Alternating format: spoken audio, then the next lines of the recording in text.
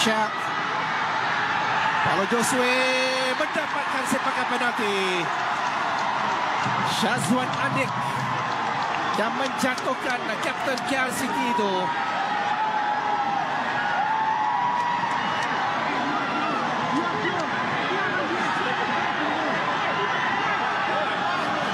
Walaupun ada bantahan dari pemain-pemain Seri Pahang.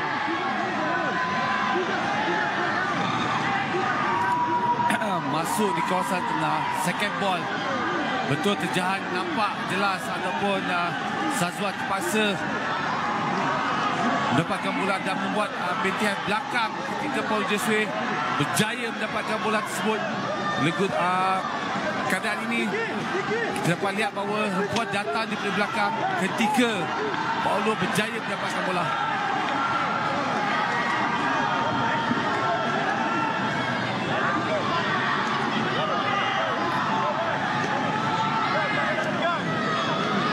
sepakan penalti untuk KL City.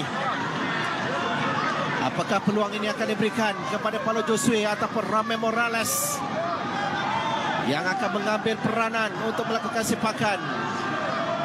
Dilihat Morales yang bersedia untuk berdepan dengan Izham Tarmizi.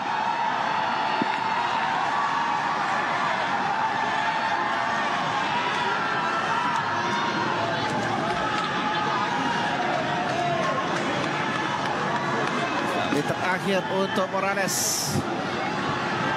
Telah menewaskan Katul Anwar.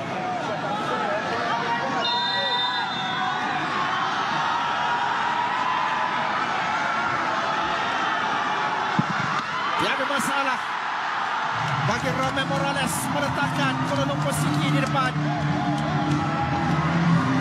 Menghantar Izam Tarmizi untuk merebahkan badan ke sebelah kanan